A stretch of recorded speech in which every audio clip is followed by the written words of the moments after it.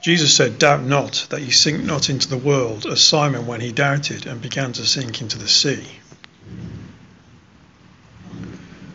From the shepherd, Wherefore, purify thy heart from doubting, and put on faith and trust in God, and thou shalt receive all that thou shalt ask.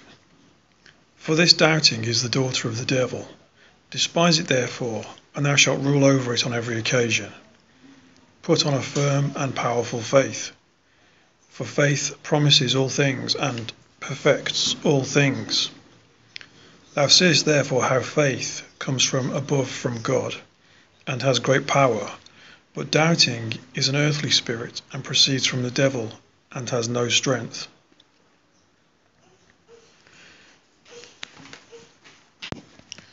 This faith is of heaven and above the perishing realm of the world and the devil if the walking upon water alludes to the power of faith, to abstain from the world and its vices of which a man is drowned. Quote Paul to Timothy.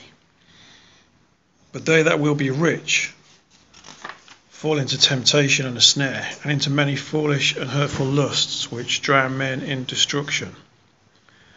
The riches of the world are deceitful, the false prophets also, being of an earthly spirit.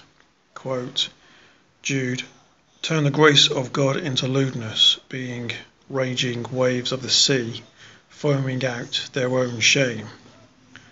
As the Lord proved, the evidence of their works testifies against them covetousness, heresies, idolatry, and the surrendering to these by doubt deprives a man of life, who is Christ.